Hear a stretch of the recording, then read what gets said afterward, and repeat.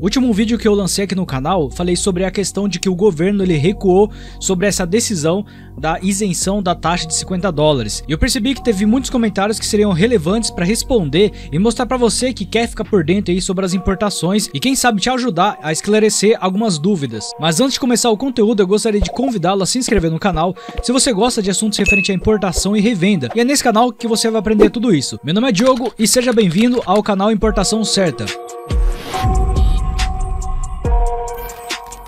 Bom, vamos lá então, pessoal. O vídeo foi esse aqui, ó. O governo arregou, não será mais cobrado a taxa. É, isso aqui foi quando o governo ele falou e anunciou, né, publicamente, de que ele não vai mais é, continuar com essas questões da isenção de 50 dólares. Ou seja, se você está por fora disso, o governo ele ia taxar qualquer tipo de encomenda internacional, independente do valor, seja um real ou 50 reais ou 100 reais. Então isso aqui foi a decisão de que eles não vão fazer mais isso, vão manter lá o valor de 50 dólares como estava anteriormente. Então explicado aqui, bora lá ver os comentários. Então é o seguinte, ó, teve aqui o John, que ele comentou assim, mesmo assim vamos ficar observando dia a dia. Seu canal é muito bom, o YouTube quem indicou e estou adorando. É galera, é o seguinte, eu sempre faço conteúdos aqui sobre importação e revenda, e é esse motivo mesmo que eu tô ajudando a galera a entender um pouco e ficar por dentro sobre as importações, porque isso daí afeta diretamente no nosso bolso, né? E por isso que eu estou trazendo sempre conteúdos. E é como que ele falou, o YouTube mesmo, ele indicou o, o vídeo para ele. E é por isso que é importante você deixar aí o seu like e também se inscrever no canal, porque é assim que o YouTube ele vai mostrar conteúdos como esse para você. Então por isso que é importante. Também várias vezes já ajudei vocês aqui trazendo vários vídeos sobre importações e também não custa nada deixar o seu like. Bora lá pro próximo comentário. Fiquei muito feliz com isso. Vencemos fazendo a pressão para essa sacanagem não passar. Você curtiu meu comentário no seu outro vídeo falando sobre o abaixo assinado, o que gera mais visibilidade para ele. Agradeço. Caso queira procurar sobre falar em vídeo futuro, o abaixo assinado tem como título impedir que o governo federal tribute todas as encomendas internacionais.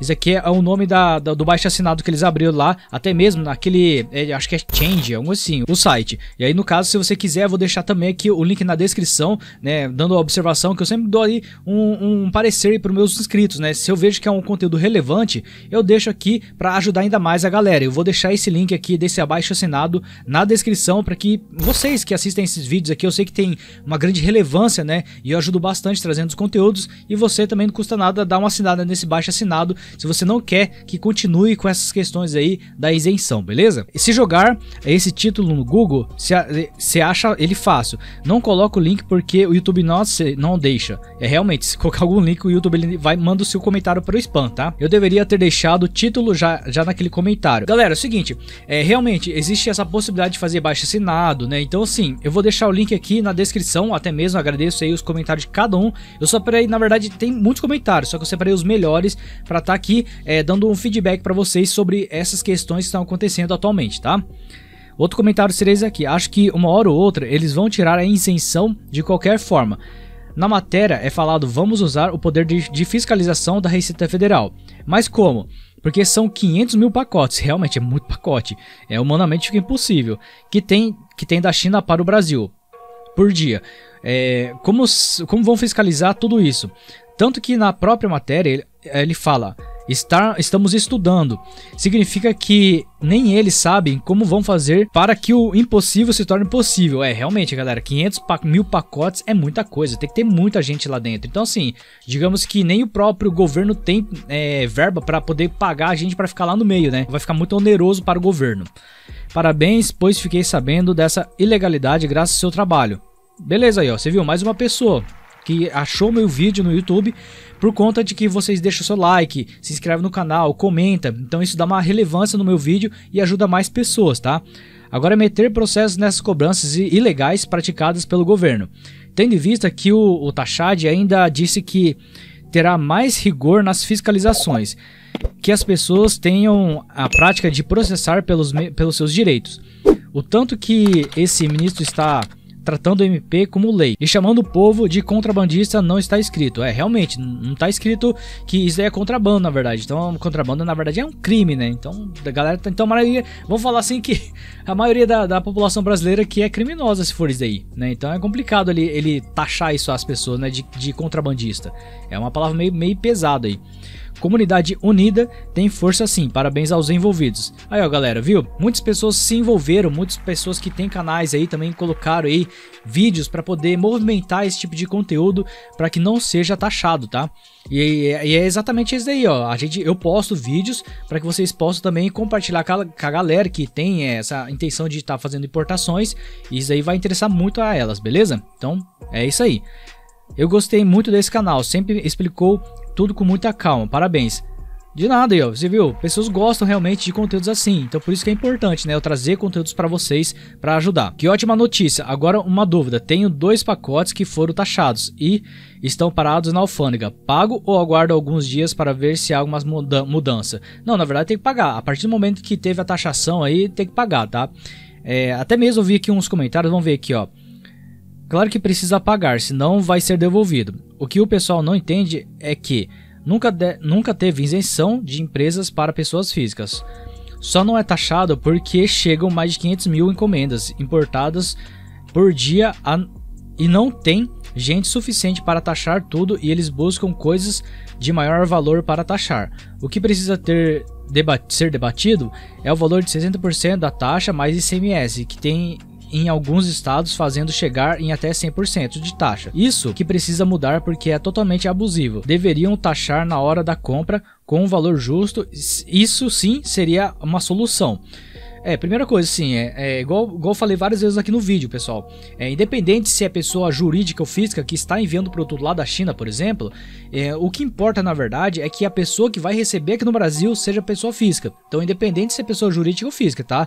Tá meio equivocado essa questão aqui da, desse, desse comentário, mas eu, eu, concordo algumas questões aqui também, que, por exemplo, é, essa taxa aí de 60%, ICMS, é muita coisa. Né? Então, assim, é, é, é uma taxa muito abusiva aí do governo é, estadual estadual, né? Porque esse ICMS é estadual. Então, assim, é, são coisas que é, tem que ser estudada nessa questão. É, uma das soluções seria isso aí também. Por exemplo, a, a, partir do momento que a pessoa faz a compra no AliExpress, já faz o pagamento da taxa. Aí seria, digamos, uma forma, é, digamos assim, como posso falar, é, já mal automatizada. Só que assim, difícil a, o AliExpress aceitar. Por exemplo, o, o governo vai querer colocar lá, vou, vou, começar então a cobrar essas taxas direto na compra. Vou colocar lá 50%. O, o AliExpress, eu duvido que o AliExpress vai aceitar uma coisa dessa. AliExpress, Shopee, ele não vai aceitar uma coisa dessa, taxar é, diretamente na compra, porque, cara, isso daí vai diminuir muito a, o volume de compra para eles. E a intenção do, da, do AliExpress, Shopee, Shein é lucrar. E eles não querem que o faturamento da empresa diminua. Então isso aqui só for, vai ser aplicável se, por exemplo, colocar 10% para todas as tipos de compras. Então, assim, é, aí seria uma forma justa, com uma taxa baixa, mas mesmo assim o governo ia estar tá recolhendo dele e também ia estar tá taxando a galera aí, independente do, do, valor da compra. Então, assim, vai ser é, igualdade para todo mundo, porque é 10%, né? Porque 10% de mil e 10% de 100 é muito diferente, o valor é bem menor de 100, né? Então, isso daí vai, pode ajudar muito, mas é difícil, né? As plataformas aceitar é, se colocar na situação de ser cobrado 50% do valor, né? É, às vezes é, é meio complicado mexer nessa parte. Concordo concordo com você, no final das contas vão continuar taxando abusivamente. É, galera, sim, eu concordo também que, assim, é claro que eu trouxe esse vídeo em tá falando para vocês que eles recuaram, né, regaram, digamos assim, mas eu duvido muito porque o governo ele tá focado em arrecadar. Então, ou seja, eles não vão arrecadar dessa parte, mas de onde agora eles vão tirar? Ou eles vão continuar taxando, multando, mas assim, é, por exemplo, o, o, Lula e o Haddad eles tirou deles da reta. Só que a Receita Federal eles vão continuar trabalhando. Então eu acredito que pode haver sim a, a continuação da taxa e também da multa. Então, por enquanto, eu oriento vocês não importarem se vocês não têm dinheiro suficiente para pagar a taxa, multa ou também não estão dispostos em pagar. Se você tem apenas um dinheiro para comprar aquele produto, não tem mais dinheiro, então nem nem importe, tá? Continue guardando esse dinheiro até resolver toda essa questão. E como por exemplo, eu mesmo, eu tô importando, continuo importando, importando, e assim, eu tô trazendo aqui para vocês o que que tô sendo taxado ou não. Igual por exemplo, o último vídeo que eu, que eu subi aqui foi um vídeo onde eu falei que eu importei 11 produtos e nenhum deles foram taxados e nem multados, tá? Então, é, eu tô tirando uma média aí, tem também um, um, outro produto aí que eu postei aqui no canal, que seria, acho que é uma mochila, se eu não me engano. E é um produto grande, e pelo que eu tô percebendo, ele passou já por Curitiba e não tá sendo taxado. Então vamos esperar aí até sexta-feira ou até semana que vem vai chegar aqui é, na minha casa, né, no escritório aqui. E estarei deixando aqui os trâmites que ocorreu, se foi taxado, se foi multado, enfim. Mas acredito que não vai ser não. Falar a verdade que essa vitória nem é nossa. A pressão deve ter vindo dos próprios chineses. É, eu também acho que seria isso aí, porque até mesmo o Lula ele viajou lá para China e eu acho que acredito que o AliExpress, é, a, a Shopee, eles viram que o presidente do Brasil ia pra China, já comunicaram ele lá, falaram assim, ó, dá um jeito nisso daqui, o cara tá taxando todo mundo, daí eu acredito que o, o, o Lula levou um creu lá da galera, hein, sei não, hein, aí por isso que eles deixaram, é, comunicaram que vão deixar de lado, mas uma coisa é é, o, o, o chefe do Poder Executivo falar uma coisa, outra coisa é os, os agentes fazer, né? Porque, poxa, ele pode ter falado que não vai, não vai querer que taxe, mas só que a Receita Federal vai continuar taxando, multando, não quer nem saber. Né? Então assim, tem que ver o que vai acontecer na verdade. Aqui tem outro comentário também.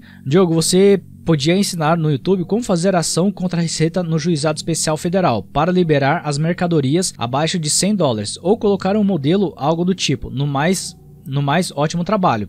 Sim, é, eu não sei se vocês viram um vídeo meu, eu falei sobre isso, daí eu fiz uma ação, né, eu entrei com uma ação contra é, o governo sobre essas questões aí de taxação, né. Eu vou ler aqui o comentário, depois eu comento isso aqui, tá. É, então, já fiz uma ação, posso pensar em fazer um vídeo para isso. É, eu acho que seria ótimo até para evitar a taxação, taxação indevida. Eu mesmo animo fazer, kkk. E os casos que vale a pena, é claro, né? Depende, se você for taxado num produto de 10 reais, for taxado 5 reais, às vezes né, não, não é uma coisa assim muito relevante pela dor de cabeça, porque realmente é chatinho. Você tem que ir lá, entrar com ação, tudo mais, né? Teve uma vez que fui taxado em 5 smartwatch em 1.200 reais. Ixi, cara, hein?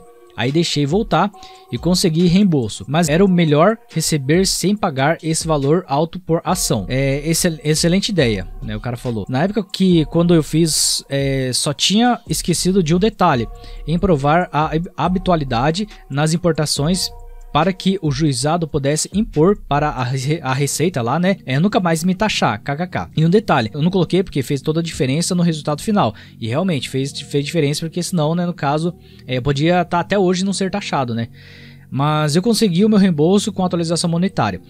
Bom, galera, explicando essa parte aqui, que quando eu entrei com a ação judicial, é, o que, aconteceu? Eu esqueci de colocar a minha habitualidade, porque se eu comprovasse que eu estava sempre importando constantemente, né, produtos, né, e não eventualmente, que é uma vez ou outra, mas eu importava direto, né, um produto aqui, um produto ali, e aí depois eu ia provar para que o judiciário eles impu impusessem ao a receita que eles não me tributassem nunca mais, porque assim, senão imagina toda hora entrando, né, com, com ação, aí cansa, né, daí o judiciário ele ia entrar com uma ação, falar assim, ó, nunca mais taxa o cara, porque o cara tá comprando dentro da legalidade, não quero mais vocês taxando o cara entendeu?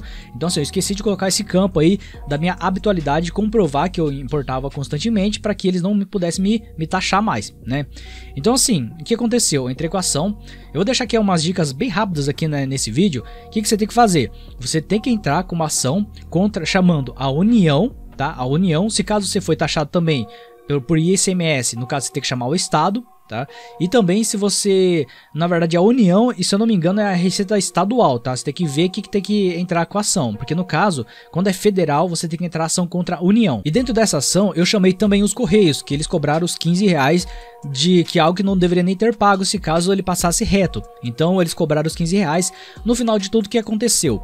É, a União pagou, né? Ele foi julgado é, como perdedor, da parte perdedora, né?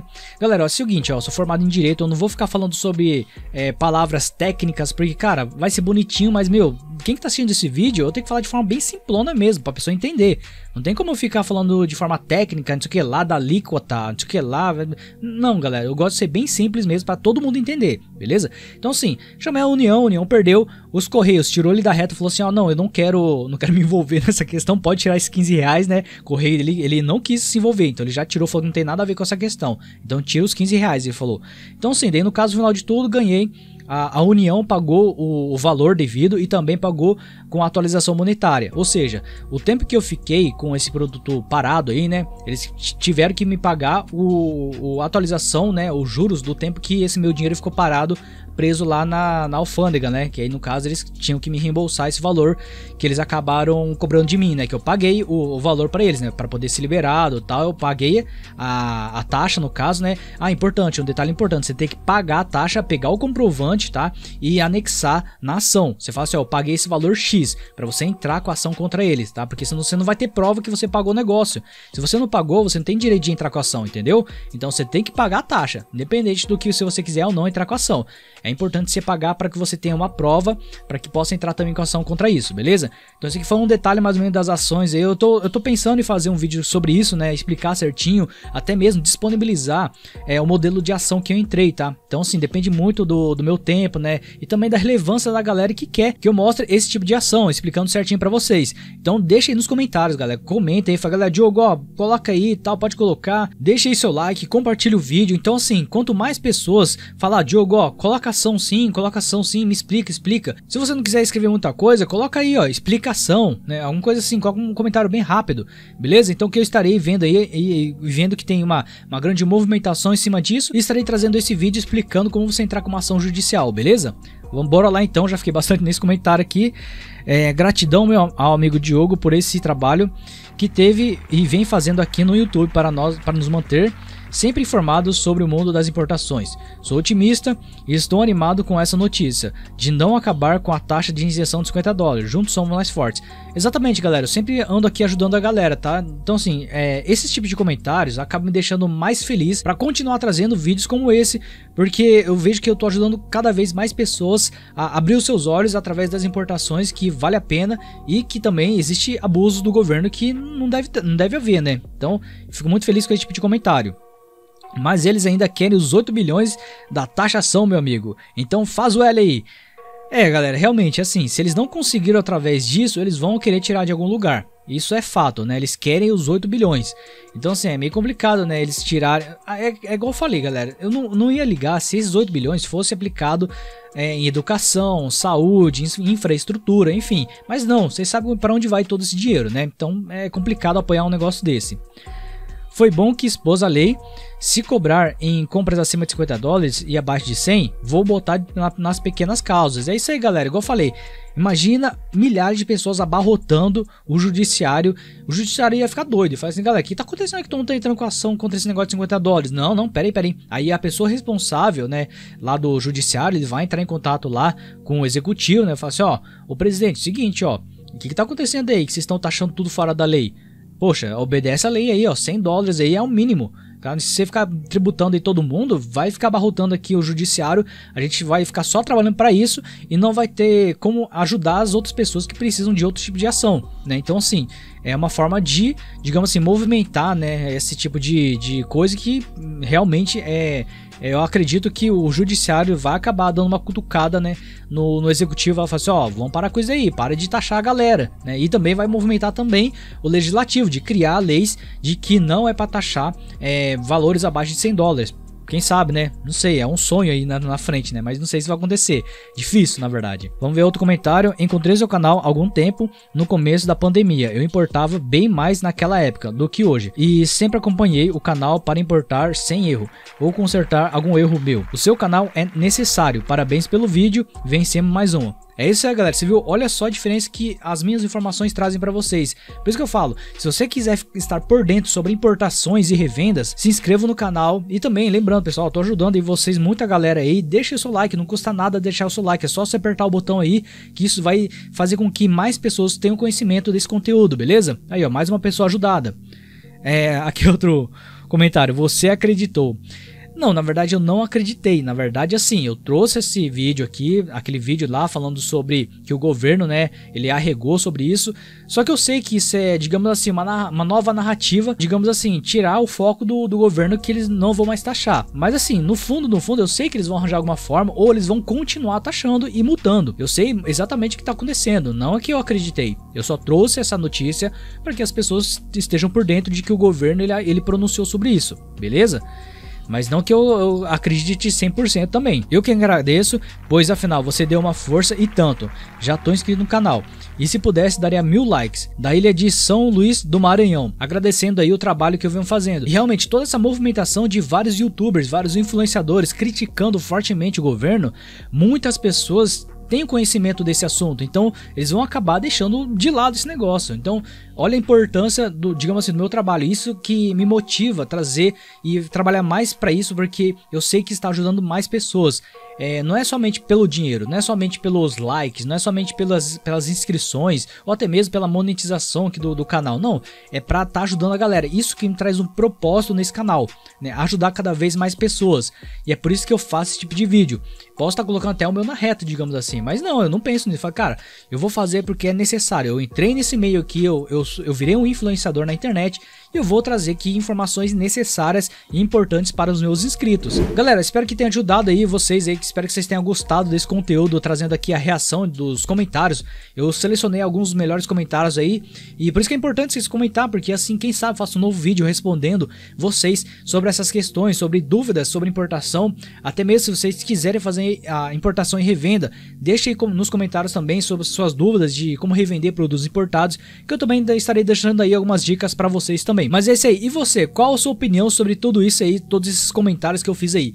Deixa aí, comente, fale, argumente, não sei. Mas é claro, com respeito, para que eu possa também conversar com vocês nos comentários e assim a gente debater algumas questões importantes sobre essas questões aí das importações. Lembrando, se inscreva no canal e também deixe seu like. Então fico por aqui, meu nome é Diogo e você está no canal Importação Certa. Forte abraço!